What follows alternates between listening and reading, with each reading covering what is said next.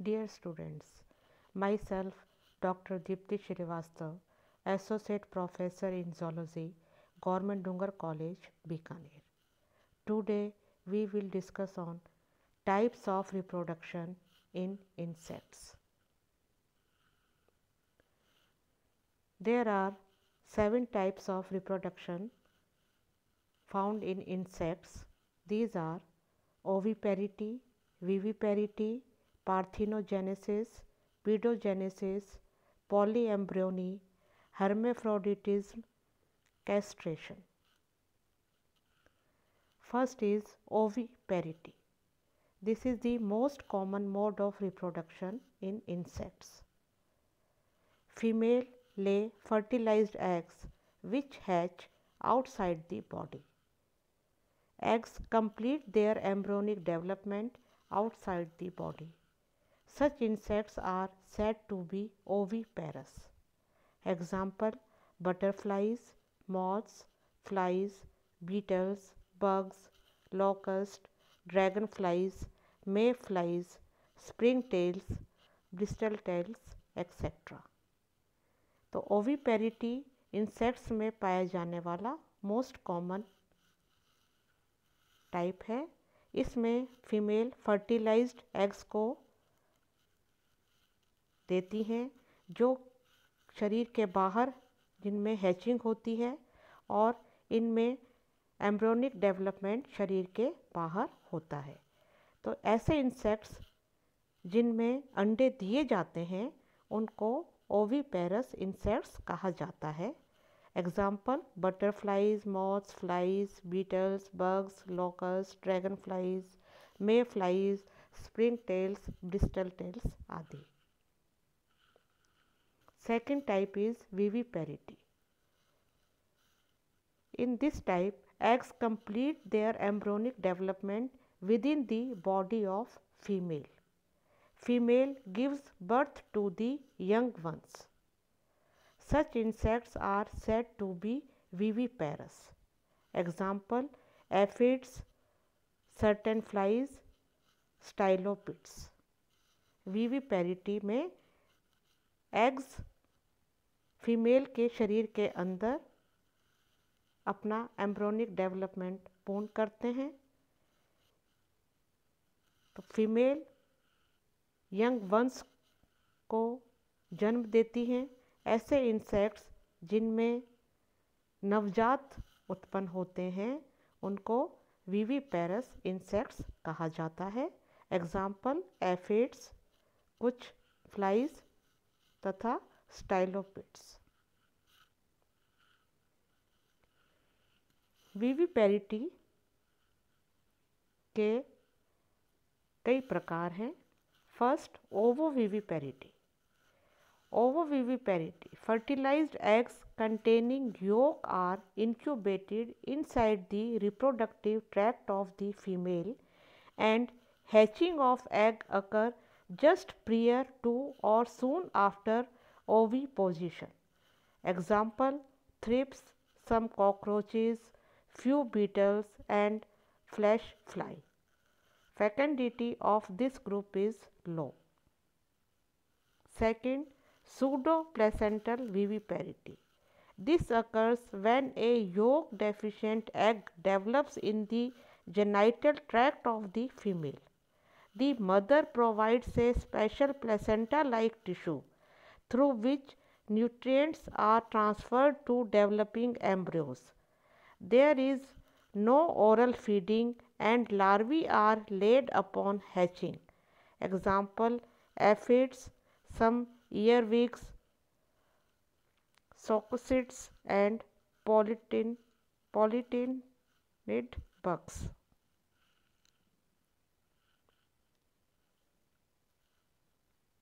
Haemocoelous viviparity. This involves embryos developing free in the female's hemolymph with nutrients take up, taken up by osmosis.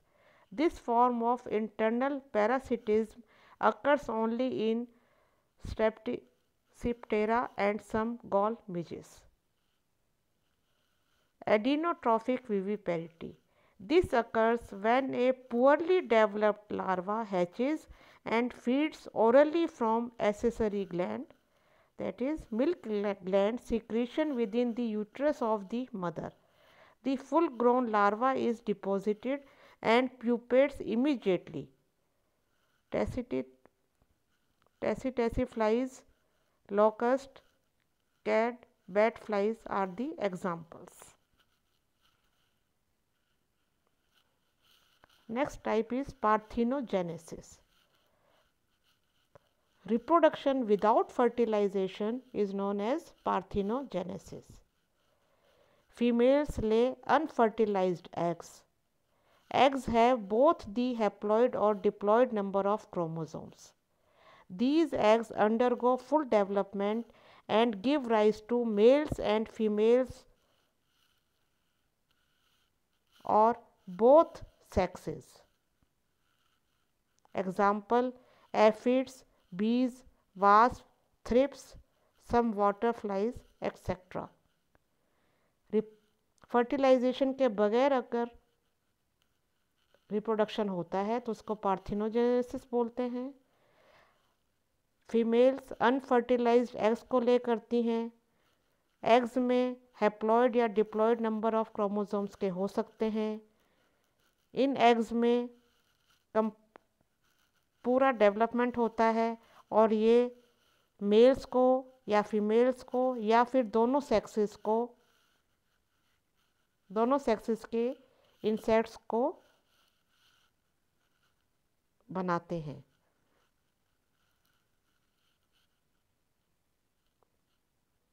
There are different types of parthenogenesis these are first based on occurrence first facultative or not compulsory? Example B. And second obligatory or constant or compulsory? Example stick insect. And third cyclic or sporadic? Alternation of gamic and agamic population. Example aphid occurrence के आधार पर parthenogenesis facultative प्रकार का हो सकता है, कि यानी ज़रूरी नहीं है हमेशा पार्थिनोजेनेसिस टाइप का ही रिप्रोडक्शन हो। जैसे कि बी में होता है सेकंड ऑब्लिगेटरी या constant example stick and insect यानी कि हमेशा ऑब्लिग हमेशा पार्थिनोजेनेसिस टाइप का रिप्रोडक्शन होता है। साइक्लिक या स्पोरेडिक इसमें ए सेक्सुअल तथा सेक्सुअल रिप्रोडक्शन अल्टरनेट होते हैं या एक के बाद एक क्रम में होते हैं। इस तरह के पार्थिनोजेनेसिस को साइक्लिक या स्पोरेडिक बोलते हैं। Example aphid based on sex produced. Arrhenotoky produce male example bee thelytoky produce female example aphids amphitoky or deuterotoky produce both male and female example cynipid wasp parthenogenesis के बाद किस तरह के insects produce हो रहे हैं, वो मेल हैं या फीमेल उनके सेक्स पर डिपेंड मतलब किस तरह से सेक्स बन रहा है, कौन सा लिंक बन रहा है इंसेक्ट में, उसके आधार पर एरिनोटॉकी पार्थिनोजेनेसिस में मेल प्रोड्यूस होते हैं थेलीटॉकी में फीमेल प्रोड्यूस होते हैं, तथा एम एम्फीटोकी में दोनों तरह के मेल या फीमेल प्रोड्यूस हो सकते हैं।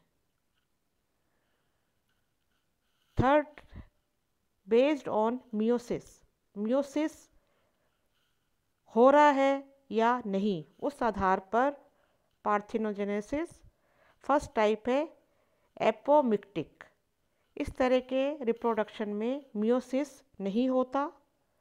और सेकंड टाइप इज़ ऑटोमिक्टिक इस प्रकार के रिप्रोडक्शन में मियोसिस होता है, लेकिन फिर भी डिप्लॉयडी कंडीशन मेंटेन्ड रहती है। यानी कि गुणसूत्र द्विगुणित ही बने रहते हैं।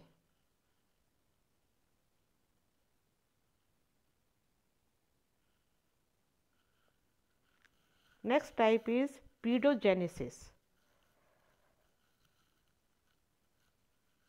reproduction by immature insects is known as pedogenesis. In immature stages, that is larvae and pupae produce young ones. In immature stages, gonads develop and give birth to young ones by parthenogenesis.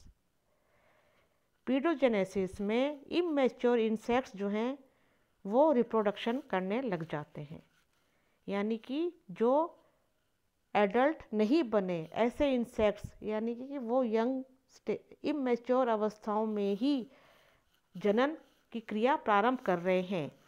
Immature stages जैसे कि larvae या pupae वो नवजात उत्पन्न करते हैं। इन अवस्थाओं में गोनेट्स डेवलप हो जाते हैं तथा पार्थिनोजेनेसिस के द्वारा नवजात को जन्म देते हैं। पीडोजेनेसिस दो प्रकार की हो सकती है। Larval paedogenesis example gall midges इनमें लार्वा रिप्रोडक्शन करते हैं। Second type is pupal paedogenesis example Miastor species इसमें प्यूपा रिपीडोजेनेसिस की क्रिया करते हैं। In some cecidomyiids the larvae gives birth to other larvae which become adult under favourable conditions. In certain measures the pupa produce larvae, some of which become normal adults. A few beetles also show this phenomenon. Next type is polyembryony. This is a form of asexual reproduction it is a rare phenomenon. A single egg produces two or more embryos by subdivisions.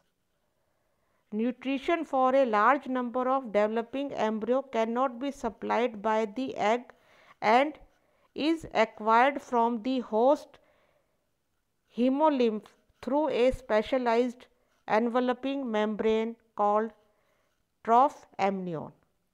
Example several parasitic wasps, some cystidomiates and a few stylops. Polyembryony ये ए sexual reproduction की एक form है। ये बहुत कम पाई जाती है। इसमें एक सिंगल एग सब डिविजन्स के कारण दो या अधिक एम्ब्रियोज बनाता है। एक ही एग में जब कई एम्ब्रो डेवलप होते हैं तो वे न्यूट्रिशन एक्स से प्राप्त नहीं करते, बल्कि ये अपने होस्ट के हीमोलिम्फ से न्यूट्रिशन प्राप्त करते हैं।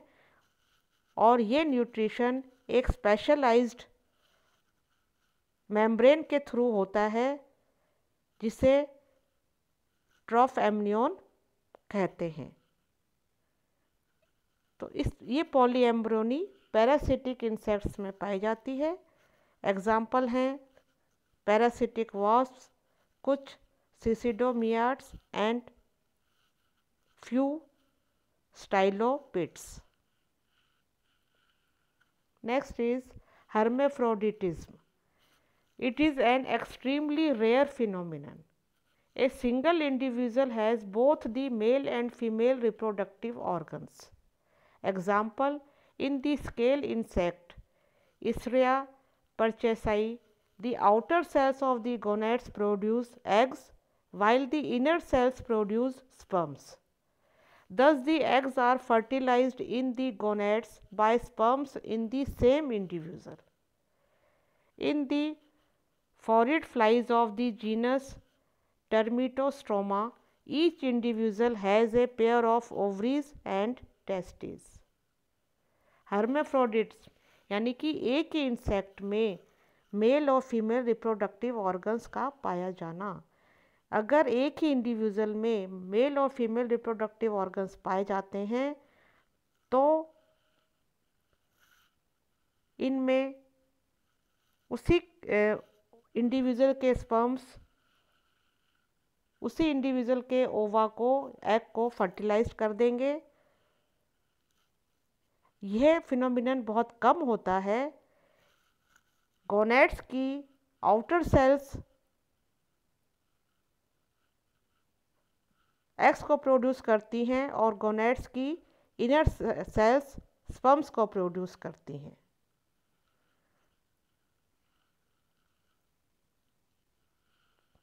Next is castration production of mature gametes is ceased in the organism having well developed gonads अगर किसी कारण से मैच्योर गैमिट्स का बनना रुक जाए, बंद हो जाए तो उसको कैस्ट्रेशन कहते हैं। इंसेक्ट में गोनेट्स वेल डेवलप्ड हैं, लेकिन किसी कारण से वो मैच्योर गैमिट्स का प्रोडक्शन नहीं कर पाए तो इस तरह का, इस तरह की जो स्थिति है, उसको कैस्ट्रेशन बोलते हैं। दिस में अकर इन एनी इंसेक्ट ये किसी भी इंसेक्ट में हो सकता है। ये किसी डिज़ीज़ के कारण, किसी पैरासाइट अटैक के कारण या फिजियोलॉजिकल डिस्टरबेंस के कारण ये स्थिति उत्पन्न हो सकती है कि मैच्योर गैमिट्स का बनना रुक जाए। इसके कारण से इंसेक्ट रिप्रोडक्शन नहीं कर पाएगा। तो आज हमने इंसेक्ट्स में डिफरेंट टाइप्स के रिप्रोडक्शंस के बारे में पढ़ा। Thank you